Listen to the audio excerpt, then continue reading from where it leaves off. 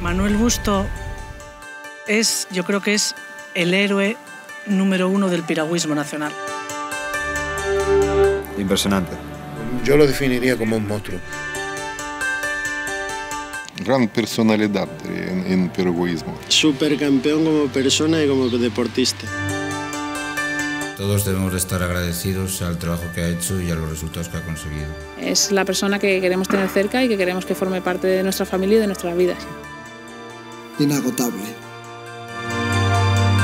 Ha sido un honor como persona, en principio, y como deportista ya no tiene nombre. Campeón en todos los sentidos de la vida.